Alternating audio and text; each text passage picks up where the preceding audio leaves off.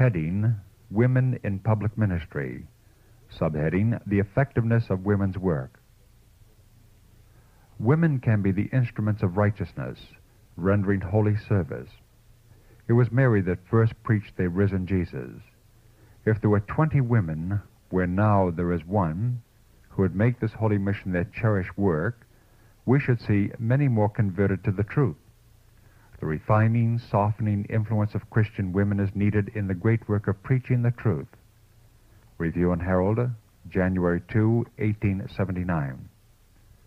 Subheading Husband and Wife in a United Work. There are women who should labor in the gospel ministry.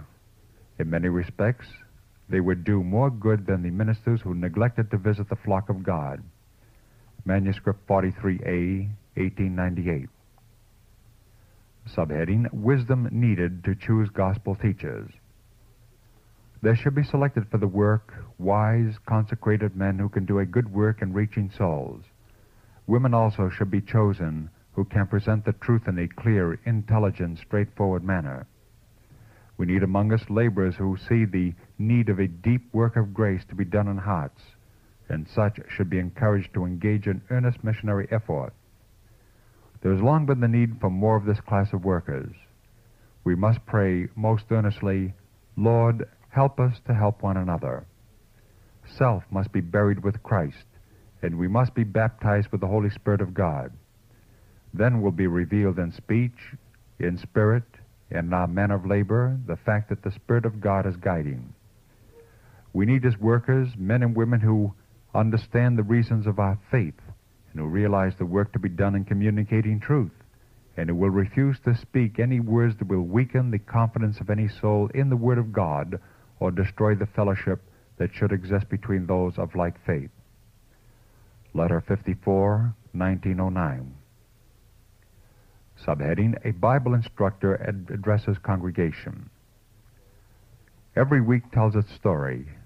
One soul or two souls receive the truth, and the wonderful change in their features and in their character so marked by their neighbor that the conviction of the very life of their neighbors is leading others to the truth, and they are now searching the Scriptures diligently. Sister R and Sister W are doing just as efficient work as the ministers. In some meetings, when the ministers are called away, Sister W takes the Bible and addresses the congregation. Letter 169, 1900. Subheading A Sister to Address the Crowd. We believe fully in the church organization, but in nothing that is to prescribe the precise way in which we must work for all minds are not reached by the same methods. Each person has his own lamp to keep burning. Very much more light from one such lamp onto the path of the wanderer than would be given by a whole torchlight procession got up for parade and show. Oh, what a work may be done if we will not stretch ourselves beyond our measure. Teach this, my sister. You have many ways open before you. Address the crowd whenever you can hold every jot of influence you can buy by any association that can be made the means of introducing the leaven to the meal. Every man and every woman has a work to do for the Master. Personal consecration and sanctification to God will accomplish through the most simple methods more than the most imposing display. Review and Herald, May 9, 1899. Subheading Camp Meeting Bible Class conducted by women. Our camp meetings are to be conducted in such a way that they shall be schools for the education of workers. We need to have a better understanding of the division of labor and educate all how to carry each part of the work successfully.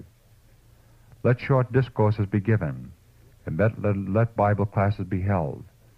Let the speaker be sure to rivet the truth upon minds. Intelligent women, if truly converted, can act a part in this work of holding Bible classes. There is a wide field of service for women as well as for men. Letter 84, 1910.